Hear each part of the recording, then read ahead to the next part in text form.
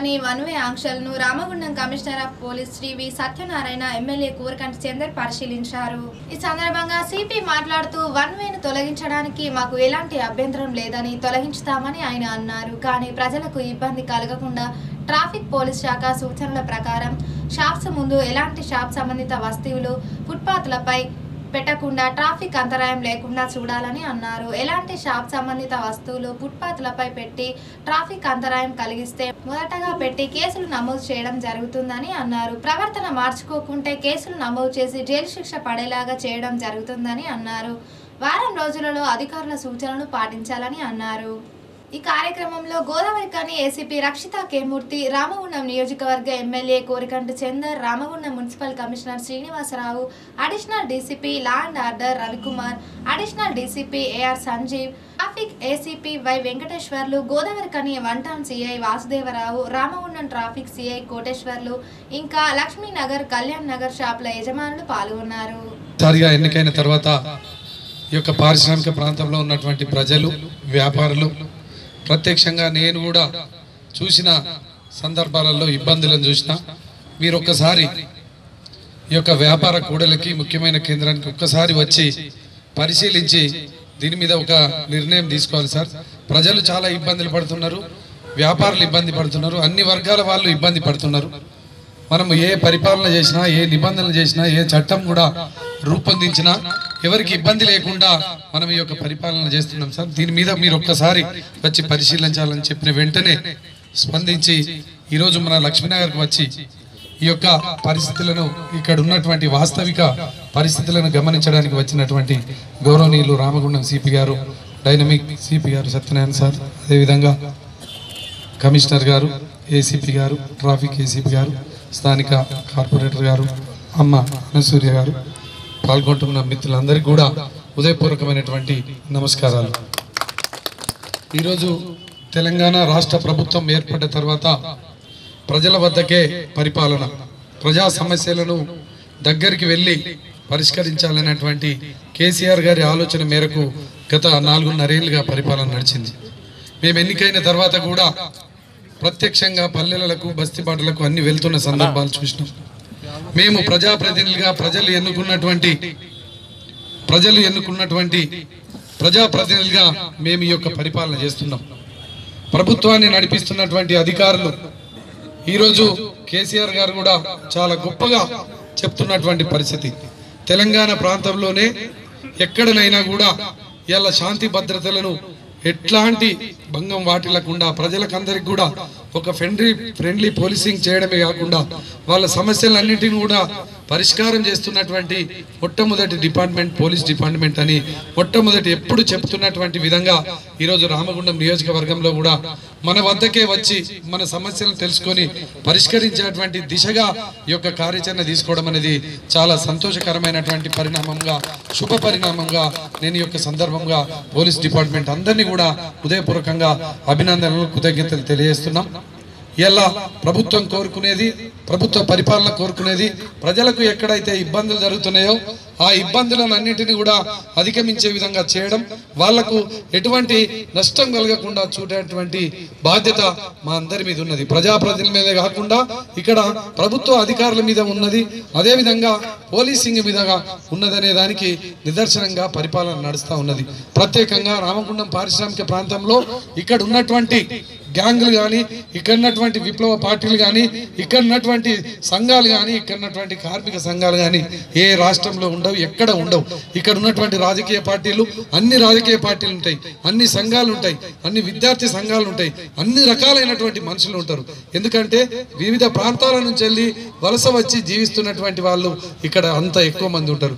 ఎంత ప్రేమ కొద్దీ వాళ్ళ దగ్గరికి వెళ్ళి వాళ్ళ సమస్యలు తెలుసుకొని ఆ సమస్యని పరిష్కారానికి మనం ఒక మంచి వాతావరణం పరిష్కరిస్తే ఎంత అయితే ప్రేమిస్తారో అంత అభిమానిస్తారు అంత ప్రేమిస్తారు అంత విధంగా మనం చెప్పినట్టు కూడా ఉండేటువంటి పరిస్థితి ఉంటుంది. ఆ పరిపాలన అందించాలనేటువంటి లక్ష్యం కొద్దే ఈరోజు ఒక సామాన్య కుటుంబంలో పుట్టినటువంటి నేను ఎమ్మెల్యేగా అయిన తర్వాత ఈ యొక్క కార్యాచరణ తీసుకున్నా సార్. మీరు కూడా మా అభ్యర్థనను అందించి డిపార్ట్మెంట్ అంతా కూడా ఇక్కడికి వచ్చి లక్ష్మీనగర్లో ఉన్నటువంటి వ్యాపారులను ఇక్కడ ఉన్నటువంటి ప్రజలను ఇక్కడ ఉన్నటువంటి పార్కింగ్ సమస్యలను సహృదయంతో అర్థం చేసుకొని ఈ యొక్క కార్యాచరణలో మీరు ముందు భాగంగా ఉన్నందుకు మీకు అందరికీ కూడా ఉదయపూర్వకంగా శిరస్సు మంచి కృతజ్ఞత అభివందనాలు తెలియజేస్తున్నాం సార్. ఆ చిన్న చిన్న ఎంకరేజ్మెంట్లు ఏవైతే ఉన్నాయో రియల్గా చెప్పాలంటే అసలు ఉద్యోగం ఇంతవరకు స్టార్ట్ చేయాలి రావడం రావడమే ఎలక్షన్ కోడ్ వచ్చేసింది. ట్రాఫిక్ మీద కాన్సన్ట్రేషన్ చేయాల. ఇంకా రౌడీలు ల్యాండ్ గ్రాబర్స్ ఎవరైతే ఆర్గనైజ్డ్ దుర్మార్గులు ఉన్నారో వాళ్ళందరినీ పీడీ యాక్ట్లో పంపించాల్సిన అవసరం ఉంది. రియల్గా వర్క్ స్టార్ట్ చేయలేదు. ఎందుకంటే ప్రజాస్వామ్యంలో ఎన్నికలు అనేది ఒక పెద్ద బృహత్కరమైన చాలా ఉన్నతమైన ప్రక్రియ. ఆ ప్రక్రియ పూర్తవ్వాలి. ఎన్నికలు లోక్సభకి కూడా వస్తున్నాయి. కోఆపరేటివ్ ఎలక్షన్స్ ఈ పంచాయతీ అవగాహన అవుతున్నాయి. ఎంపీటీసీ జడ్పీటీసీలు అవుతాయి. మున్సిపాలిటీ కూడా జూన్ అని మీకు ఇంకా జూలై వరకు ఉంది. సో ఈ ఐదారు నెలలు అట్లా ఉంటాయి. సో దీని మీద ఎక్కువ కాన్సన్ట్రేషన్ వల్ల ఏదో మన ఎన్టీపీసీ సింగరేణి కాలేజ్లో ఇన్వాల్వ్ చేసి దీని యొక్క అందమైన రెండు వీధులను అందంగా చేసుకోకపోతే ఇంత పెద్ద కమిషన్ రేటు దీని హెడ్ క్వార్టర్ దాంట్లో ఎటువంటిది లేదు. అయితే వన్ వే మొహమాటం లేదు వన్ వే తీసేస్తాం కూడా. కానీ చెప్తున్నా కానీ ఆ తీయడానికి గల పరిస్థితులు ఏదైతే అడ్డంకులు చిన్ని చిన్ని అడ్డంకులు ఉన్నాయో వాటిని మనస్ఫూర్తిగా మీరు తీసేయడానికి అధిగమించడానికి కోఆపరేట్ చేయాలి. ఎక్కడ ఎంకరేజ్మెంట్ ఉండదు. ఆయన ఎవరో పూర్ణ గారు చాలా ఉద్రేకంతో అసలు ఏదో వ్యాపారులే దుర్మార్గులు లేకపోతే టెర్రరిస్టులు అనే టైప్లో మాట్లాడాడు ఆయన. సో ఆయన పబ్లిక్ నుంచి పబ్లిక్ కూడా ఇబ్బందే. మీరు ఏదో పది మంది కోసం ఇంత మీటింగ్ అవసరమా? వన్ వే తీసేయడం కోసం ఇంత అవసరమా? ఎమ్మెల్యే గారి మీద ఒత్తిడి పెట్టేశారు కొత్త ఆయన ఆయన. చాలా ఒత్తిడి పెట్టారు. దాంట్లో డౌట్ లేదు. ఆయన ఫస్ట్ ఫస్టే మీరు వస్తారా? మీరు రారా? మీరు వస్తారా? రారా? హైదరాబాద్ నుంచి కూడా ఫోన్లు చేస్తాడు ఆయన. సార్. ఇది ఎంక్రోచ్మెంట్లు తీయకపోతే క్లియర్గా చెప్తున్నాను. మా యొక్క ట్యాబ్ ఉందన్నమాట ఆ ట్యాబ్ హైదరాబాద్ సర్వర్కి కనెక్షన్. డీజీ గారు కూడా దాంట్లో చూస్తారు. ఫోటో చూసి ఎపెక్స్ ఫుట్వేర్ ఇదే ఏం పేరు ఇది? ఎపెక్స్ ఫుట్వేర్ ఎట్లా చెప్పులు ముందుకు ఎలాడదీశారు బూట్లు ఎలా ఏడదీశారు లోన్ ఉండాల్సినవి మొత్తం అన్ని బయటే ఉన్నాయి. Next fine second fine third మొహమాటం లేకుండా చిన్న అఫెన్స్కి జైలు అన్నమాట అంటే పెద్ద పెద్ద కేసుల్లో స్మగ్లింగ్లో వెళ్తే అదో రకంగా ఉంటుంది. ఒక మూడు రోజులు సరదాగా. అసలు జైలు ఎలా ఉంటుంది? ఈ చెడు అంటే అది అన్వయించుకునే విధంగా ఉంటుంది. ఇది మా ఇద్దరికి పరీక్ష. ఎవరికి? కమిషనర్ గారికి. కొత్తగా ఎన్నికైన ఎమ్మెల్యే గారికి. ఈ చిన్న మార్కెట్ ఎంతో హిస్టారికల్ ముప్పై సంవత్సరాల నుంచి గోదావరి కానీ మా రామగుండం అంటే నేషనల్ లెవెల్లో పేరు. చిన్న మార్కెట్ రెండు సందులు రెండు వీధులు. దీనికి సంబంధించిన ఏ నిర్ణయం తీసుకుంటారు అనేది రెండు మూడు రోజుల నుంచి చర్చ అందరూ.